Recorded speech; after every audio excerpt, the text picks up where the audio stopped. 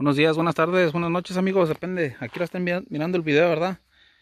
Pero miren, les quería enseñar este, el humaderón que, que hay ahorita. El fuego ahorita está como a unos 25-30 minutos de aquí, de aquel lado de esas colinas que se miran allá al fondo. Pero, pues lo puedes oler, lo puedes hasta saborear el humo. Este, está muy peligroso ahorita aquí en California, pero bueno. Este, ¿qué le vamos a hacer? Ojalá y ya puedan parar estos incendios. Ahorita ya creo que en este mes había como alrededor de unos 22 incendios. Ahorita ya bajó a 17 incendios. Pero de cualquier manera, pues es muy peligroso. Ya evacuaron en muchos, en muchas ciudades, evacuaron a la gente. Hubo, ya ha habido algunos muertos, este, a cientos de, de casas ya totalmente quemadas. Pero bueno, en fin. So, te les quiero enseñar lo que podemos hacer el día de hoy. Ahorita ando, ando este, agarrando macetas de un galón, como estas. Les ando poniendo sustrato como a la mitad. Es un sustrato de, compuesta que usa el maestro. Muy bueno para cultivar arces y otra, otra variedades de árboles. Pero bueno, lo que quiero hacer, lo que voy a hacer, voy a, hacer alrededor de unos 50, 60 cajetitos de estos con el sustrato como a la mitad porque voy a poner uh, Princess Persimmon uh, del pérsimo japonés o no sé cómo le llaman pero ahorita están en, en, están en macetas como de medio galón pero nada más las voy a poner encima encima de estas para que más o menos se haga como si estuvieran sobre en el suelo o sobre bandeja. Entonces este esto es lo que voy a hacer ahorita ahorita las voy a enseñar Ahorita voy a nada más voy a hacer el proceso de todas estas cubetas y cuando pase al otro paso voy a, voy a, enseñarles. Bueno. Pues bueno amigos, ya estamos aquí en el, en el invernadero. Entonces lo que les quería lo que les estaba comentando, lo que voy a hacer ahorita, estos son los Princess Persimmon. Uh, supuestamente el el 278 me estaba comentando el maestro que es hembra y macho So, estos no ocupan, no ocupan ser polinizados por este abejas. Estos por sí solo van a dar el fruto. Entonces es un es un detalle que, que se debe mencionar. Este, sobre todo al, al, comprador, ¿verdad? Para que sepa qué es lo que se está llevando y, que se lo lleve con más ganas, ¿verdad? Entonces lo que vamos a hacer, esto es bien simple. Lo que voy a hacer, voy a remover todo el, este es como un tipo de musgo, sale cuando hay mucha humedad aquí en el vivero. Ah, a mí me gusta mucho porque parece que da como palmitas. si pueden ver, son como palmitas. Entonces básicamente lo que voy a hacer, voy a remover ese tipo de musgo. y voy a poner las macetas de un galón que están más o menos como a la mitad de sustrato. Y bien fácil. Si pueden ver no tienen malla abajo ni nada. Son todos bien básicamente se va a poner encima encima de la maceta así. Y eso es todo lo que vamos a hacer. Ya después de hacer todo este proceso son como alrededor de unos 60 voy a pasarlos a una, a una banca allá afuera donde se le va a conectar su, su, este, su sistema de riego y ya se va a cultivar por el resto del año y del que se sigue y de los próximos años hasta que más o menos tanteamos de que ya ocupan eh, pasarse a macetas más grandes de dos galones eh, ah, entonces cuando se va se van a volver a trasplantar. Pero por el momento es lo que lo que se va a hacer en este Prince Persimmon. Miren aquí les voy a enseñar bien rapidito. Ah, este es un shin de sojo. Si pueden ver aquí el, el colorcito. Este es un brote de un brote nuevo de los que se dan pues de los que salen básicamente este durante todo el año sale así rojito primero y ya después se torna en, color verde. Ah, pero pues ya saben que este color este nada más se obtiene en, en, primavera el color del muy famoso del sin de sojo ah, también tenemos por ahí el otro que es un poquito de color más, más fuerte, más brilloso que viene siendo el Seigen el cual es uno de mis favoritos. Pero por el momento este es el único creo que este y otro es el único sin de sojo que tenemos aquí en el vivero. Al maestro no le gusta trabajarlo mucho, que porque es más, es un poco más variegado y, es más delicado y este y menos resistente que el que el Seigen. Entonces es uno de los motivos por el cual el cual no le gusta trabajar tanto el desojo ah, o el, el sin desojo que viene siendo este ok amigos uh, qué más qué más qué más quisiera aquí tenemos uh, este no no este no es pino negro. No me acuerdo qué variedades pero también se va a trasplantar a macetas de un galón también. Este creo que si no me si no me equivoco estos son injertados. Por aquí se mira el injerto por aquí por donde tengo el dedo ya está completamente sanado este creo que se injertaron estos el año pasado. O este año no estaban que se hizo este año. Mm, déjenme déjenme les enseño. Estos son corojimes. Ya me acordé del nombre por ahí en otro video no me acordaba del nombre pero ya es corojime este. Hojita muy chica muy este muy bonitos para hacer bonsai también. Este por aquí los los nuevos este todo lo que injertamos en Seigen y otras variedades ya al parecer ya está dando resultados ya se mira que está ya se mira que está este pegando si pueden ver ahí ahí se mira el labio de cicatrización que va ya va agarrando el otro el injerto. Entonces vamos por buen camino. Aquí tengo unos aquí tenemos unos plantones de de este no sé qué está pasando con mi cámara estaba teniendo dificultades para, para este para este enfocar la cámara pero bueno. Tenemos varios plantones aquí de, este de carpe japonés. Miren este qué bonito en su macetita. Déjenme le tomo una foto bien rapidito este, si no me equivoco, si no me equivoco es un Shishigashira. Yep, es un Shishigashira. Muy bonitos también para hacer bonsai. Este, se miran muy bonitos así, pues en un tamaño pequeñito, shoujin en una macetita. Se miran muy, este, muy simpaticones, muy bonitos. Este, bueno, pues voy a parar aquí el, la grabación. Es todo lo que vamos a hacer por el día de hoy. Uh, Espero que se la estén pasando bien y este parece bueno parece que se está, en recuperación pero ya ya se mira que tiene nuevos brotes parece un shishigashira pero no estoy seguro. Voy a preguntar al maestro a ver qué, qué variedad es pero bueno más carpe japonés no carpe coreano carpe coreano muy difíciles de encontrar y cuando los encuentras quieren una millonada por por plantoncitos. Pero bueno es el maestro que creo que tuvo que ir hasta el hasta la costa por ellos porque aquí no había nadie tenía. Entonces este pues bueno muchachos tenemos trabajo por delante así es que vamos a meterle mano y este nos estamos viendo en el próximo video. Hasta luego que me vaya, se me olvidaba un detalle también. También tengo que, tengo que procurar de ponerle el número porque están marcados. Este es el que les contaba que era hembra y macho. Este, hay unos que son hembras y hay otros que son machos nada más.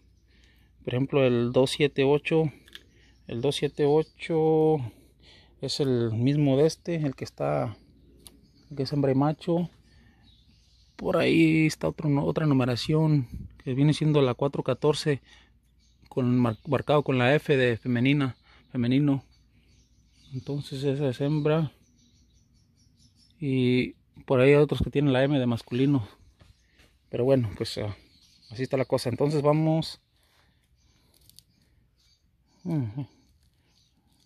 me hace raro que tenga otro número. Se me hace que la letra F no tiene nada que ver con la numeración. Pero bueno, ya, bueno, en fin, ya luego le preguntaré al maestro. Ándale pues muchachos pues bueno aquí les voy a mostrar el, trabajito del día de hoy. Hay que hay que afilar las navajas las navajas hay que afilar bien este hay que afinar, afilar y afinar bien las punterías. No este el, el, el lapicito este que, que me dio el maestro lo tengo que guardar bien porque luego dice que ya no me va a volver a dar. Ya perdí uno lo que no sé cómo chingados este ay disculpen la palabra lo que no sé cómo se trabaja esta cosa para sacarle punta se me hace que nada más se remueve el papel. Voy a tener que preguntarle nunca había usado estos lápices yo. Son como de una es difícil de quitarse no, no se deslava con agua. Tienes que ponerle como un jaboncito o un cloro o algo así por el estilo. Pero bueno en fin entonces volviendo al volviendo al tema de lo que andamos haciendo bien fácil remover este musgo. Remover este musgo que, se mire el sustrato así limpiecito. Uh, ya que los transportemos a ya que los pongan en esas macetas de cultivo este para que se pongan como si estuvieran en el suelo o sobre bandeja este se les va a poner un componente aquí encima aparte del fertilizante que eso previene que vuelva a crecer este musgo o hierba porque allá afuera allá afuera va a ser va a estar más propenso a que le crezca hierba. Este ok so, entonces estos son son F278 los dos F78 si no me equivoco es hembra y macho o saben que se me que estoy equivocado. Se me hace que va a ser la hembra nada más. Se me hace que estos van a ser hembras. El maestro ya ni sé por el maestro por ahí tiene sus anotaciones después a mí se me hace que él ni sabe tampoco. Nada dijo que tenía todo anotado en las libretas. Amigos pues es una pena ahorita lo que está pasando aquí en California con los incendios. Este mucha gente les comentaba mucha gente ya se quedó sin, hogar este es un, maderón infernal por todos lados de por sí con el calor lo bueno que ya el calor ya el calor ya pasó ya estuvo el calor ya vamos a empezar a en como unos 6 7 días empieza el otoño aquí con nosotros aquí para el aquí para esta parte del estado de California o para el estado de California empieza empieza este el otoño. Este, una de las estaciones que me gusta mucho porque los arces empiezan a cambiar de color los carpes también. Este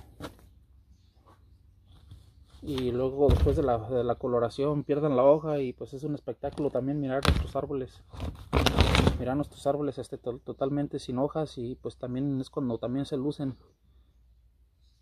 es cuando también se lucen, ¿verdad? Para si los quieres llevar a una exposición o, mostrarlos bien, pues obviamente es, el mejor tiempo cuando pierden la hoja. Ahorita desafortunadamente pues se cancelaron todos los eventos de este año por el COVID-19. Ojalá ya se acabe todo esto porque, no sé, este año, si te pones a pensar es algo estresante. Este año nos fue un poco a la patada con el virus y luego con los incendios también aquí. Y este no, pues fue un, fue un rollo. Algo estresante para mucha gente y aparte de eso pues mucha gente perdió sus trabajos. Este, mucha gente está todavía sin trabajar. Entonces es algo que que nos afectó a todos. Pero también pues por otro lado si le miramos el lado bueno este también este nos unió a bastantes personas ya que estamos un poquito estuvimos un poquito más conectados en las redes sociales entonces este nos permitió conocer un poquito más a fondo a nuestros amigos que tenemos por ahí. Este compartimos más ya que no pudimos este, llevar nuestros árboles a, las convenciones o, a las reuniones como típicamente lo hacíamos cada segundo, cada segundo sábado del mes aquí con nosotros en el, club, el club de Fresno Bonsai Society. Este, también el, tenemos un, jardín Zen, Shinsen, este, con una colección muy bonita.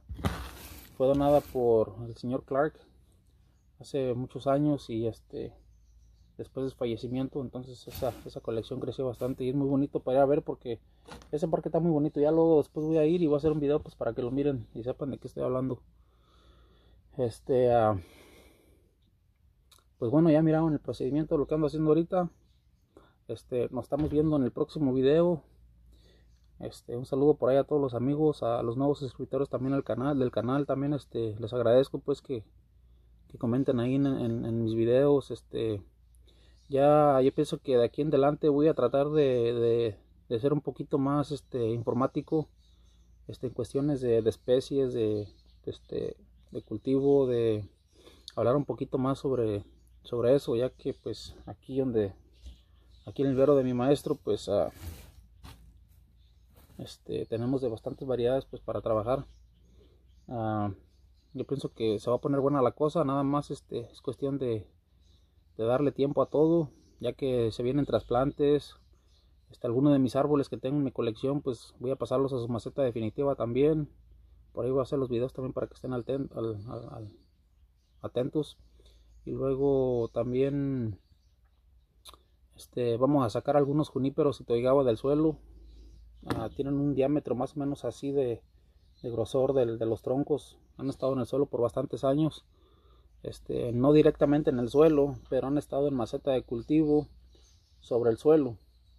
Ah, cuando digo sobre el suelo no necesariamente están están este al ras sino que se escarbó un diámetro más o menos un poquito más de la mitad de lo que era la, cubeta y luego se, metió se metió y se cubrió de tierra entonces ahí se quedaron ya por bastantes años. Entonces este se han estado cultivando esos juníperos por bastantes años van a estar muy buenos esos ahora que, que, los saquenos este este invierno vamos a sacarlos este escoger los, mejores. Y este yo pienso que no vamos a sacarlos todos nada más algunos para ponerlos a la venta. Van a valer la pena. Ah, pues van a estar un poquito el costo va a ser un poquito elevado pero pues son árboles que son juníperos que ah, y pienso que van a valer la pena ya que han estado bastantes años en cultivo y más que nada pues es lo que busca mucho la gente el, troncos gruesos y de buen movimiento y este esos creo que si no me equivoco están algo retorcidos también han, estado trabajados desde que desde que eran plantones por el maestro entonces se va a poner buena la cosa también otra cosa ¿qué más se viene? ¿qué más se viene?